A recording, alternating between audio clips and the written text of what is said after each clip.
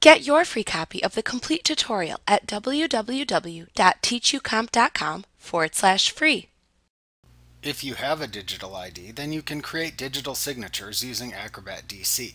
To create a digital signature, launch Acrobat and select Edit, Preferences from the menu bar to open the Preferences dialog box.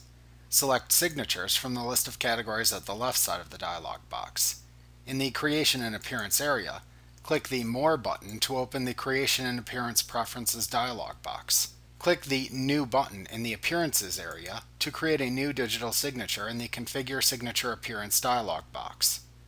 In the Title field, type a name for the digital signature. The Preview area shows the information that will appear in a PDF when you use the signature. In the Configure Graphics section, you can set the appearance of images within the signature. This can include your picture or an image of your signature you have scanned.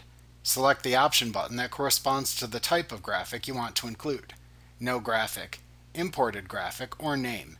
If you click the Imported Graphic option button, then you can click the adjacent File button to open the Select Picture dialog box. Here you can click the Browse button to launch an open dialog box where you can navigate to the image file you want to use.